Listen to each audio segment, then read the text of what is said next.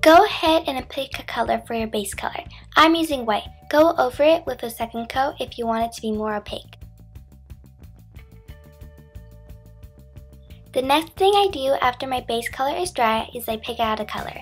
I prefer a really bright color since it's summer. Now watch very closely. This is going to make your next step really simple and complete. You just need to do three strokes. After you did three strokes, go ahead and fill it in. Now, just outline the shape. Be very careful. Decide first if you want the outlines to show up thick or thin.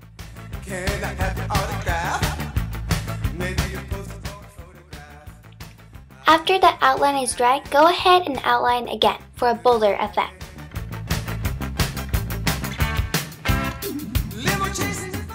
So the last step is to apply a top coat. I prefer waiting at least 10 minutes before doing so.